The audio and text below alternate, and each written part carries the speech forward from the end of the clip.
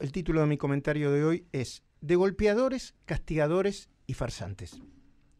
¿Qué tiene que ver el golpe que le dio José Schulman a la empleada de una empresa de transporte en Santa Clara con la ineptitud de Juan Cabandier y con el nuevo ataque contra el gobierno de la ciudad y los porteños que impulsan el presidente y sus socios, Cristina Kirchner y Máximo Peligro Kirchner? Todo. Schulman, hasta ayer, era el presidente de la Liga por los Derechos Humanos, todavía es, ¿no? Porque está en uso de licencia, y le pegó una cachetada a una empleada de una empresa de transporte después de decirle que tenía el poder, mira qué hijo de mala madre, que tenía el poder para meterla en cana. Y para que me digan no me No, no, ¿sabes lo que le puedo hacer? Que a las dos meterme en cana extraviado emocional e ideológicamente, con la camiseta de la liga, el tipo, Schulman, junto con su organización, ya había participado de la marcha contra la Corte Suprema y es uno del abanderado de la lucha contra el lofer. Una cortada que busca la impunidad de gente como Milagro Sala, Ricardo Jaime o el Pata Medina. Schulman, el golpeador, quien se presenta como nieto de judío asesinado por los nazis durante la Segunda Guerra Mundial y sobreviviente del genocidio en la Argentina, le habló a la trabajadora con un aire de superioridad y violencia que no se construyen en un solo día.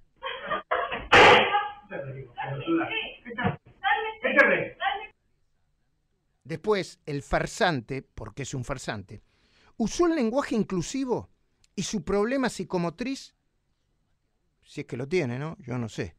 Parece que sí para pedir unas disculpas amarretas junto con el pedido de licencia cuando debería haber ido una comisaría para autodenunciarse y renunciar de manera definitiva. Julman, quien cometió un delito que merece una condena judicial, se manejó con un aire de superioridad parecido al que porta el actual ministro de Medio Ambiente, Juan Cabandier. Se trata del mismo Cabandier que, incapaz de ayudar a apagar el incendio y el fuego en la provincia de Corrientes, que ya destruyó más de 500.000 hectáreas, le echó la culpa primero al gobernador Gustavo Valdés y después a los productores que, según él, se la pasaban quemando campos. A propósito de esto, hoy mismo, el titular de la sociedad rural, Nicolás Pino, le acaba de pedir la renuncia públicamente. Te da mucha, mucha bronca porque te quieren tildar a vos de responsable de algo que no lo sos y por otro lado no asume la responsabilidad que le toca con el cargo que tiene. Yo pensé que el ministro iba a dar un paso de francamente. ¿Vos crees que tiene que renunciar? Yo creo que sí.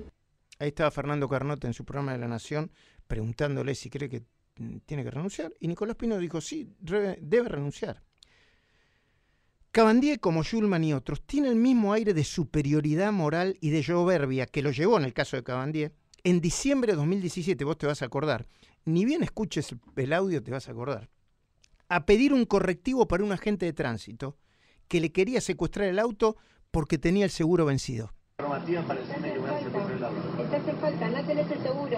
Sabés que el, el seguro contravención, querida. Es una contravención. Eso no te habilita a poder secuestrar un auto. Te, te hiciste la guapa. Como el señor se hizo guapo también. Decime que tratar a la gente. ¿Sí? Yo en ningún momento, en ningún momento te chapé con que soy diputado. Tengo que decir porque el señor preguntó. ¿Eh? Faltaste al respeto que es otra cosa. Creo que es peor todavía. Un diputado faltando al respeto y tratando de boludo a las personas charla privada mía. Si te escuchaste, el problema tuyo. No. Tú, hiciste la guapa. Yo no me hice la guapa. Hiciste vos la estás guapa. faltando al Yo soy en yo soy que vos. Bueno, me querés firmar la Porque boleta yo no no. banqué la dictadura. Está bien, te felicito. Yo soy ¿Querés hijo desaparecido porque yo pongo huevo porque yo este, tengo que estar, todo donde tengo que estar, bancando los hijos de puta que tiene que en este país. ¿Querés firmar la boleta no la querés firmar? Yo estoy trabajando. Yo en ningún momento te falta. Sé, sé preciso con esto. Yo me banqué la dictadura. Yo soy más guapo que vos. ¿De dónde? ¿Qué se comieron estos pibes? ¿Qué se comieron estos pibes? ¿Crees que está por encima de todo? Y además, ¿quién empodera a este tipo de personajes? ¿Sabés quiénes son los que están arriba de todos? Gente que se autopercibe superior, como Cristina Kirchner, quien, entre otras virtudes, es portadora de fobia contra los porteños. Y entonces, claro, cuando uno va a la capital federal, ¿quién no quisiera vivir allí donde hasta los helechos tienen luz y agua? Cuando tenemos gente en nuestras barriadas, en el conurbano bonaerense, chapaleando agua y barro. Perdón, Cristina, Cristina vive en Recoleta, en la esquina de la corrupción, Juncal y Uruguay. Y tiene dos, tres departamentos en Puerto Madero, los mismos que le alquiló a Cristóbal López, no a precio de mercado, tres veces precio de mercado. 31 lucas dólar pagaba Cristóbal López y en el precio de mercado cada uno de sus apartamentos en ese momento valía 10. Vamos, Cristina. Gente que está arriba, como el presidente, quien a pesar de haber vivido en Recoleta o en Puerto Madero, pretende usar la lapicera de manera discrecional para quitarle parte de lo que nos corresponde a los porteños. Y la verdad que esa maravillosa ciudad que es Buenos Aires, que me enorgullece, que nos enorgullece a todos, que todos la disfrutamos, es al mismo tiempo una ciudad que nos llena de culpa, de verla tan, tan opulenta, tan bella, tan desigual y tan injusta con el resto del país. Claro, nivelemos para abajo. Presta atención a estos datos, ahora que el gobierno quiere quitar los subsidios al transporte colectivo solo a la ciudad de Buenos Aires. De los 230 mil millones de pesos que el Tesoro destinó en 2001 para el transporte en el AMBA, solo el 4%, 14 mil millones, fueron para las líneas de colectivos que andan por la ciudad. ¿Y sabés cuánto va a la provincia de Buenos Aires por el mismo subsidio? El 80%. Repito, el 80%. Es decir, poquito menos de 200 mil millones de pesos.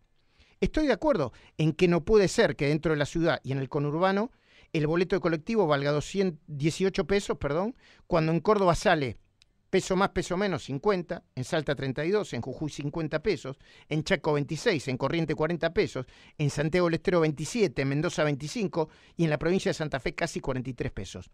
Pero si el gobierno quiere aumentar el boleto en la ciudad para repartir mejor el subsidio en el resto del país, ¿por qué no se saca la careta y se hace cargo de la decisión de aumentar el boleto? Poder Ejecutivo Nacional, ¿eh? porque es el que tiene la potestad para hacerlo. ¿Y por qué no hace lo mismo con la parte del AMBA que le corresponde a la provincia de Buenos Aires, a Kisilov?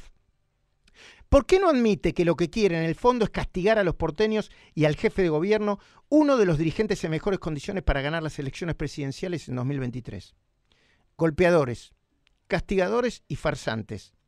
Hipócritas, capaces de decir que la patria está en peligro y que la gente se muere de hambre con el dólar a 45 pesos y un, y un índice de pobreza que entonces llegaba al 38% y ahora, con el dólar a, ¿cuánto hoy, Bebo? 214, 215. A 215 pesos, la pobreza más de 40 y con un ajuste a los jubilados superior al que le adjudicaban a Macri, no dicen nada. O peor, mienten o insultan o agreden o castigan.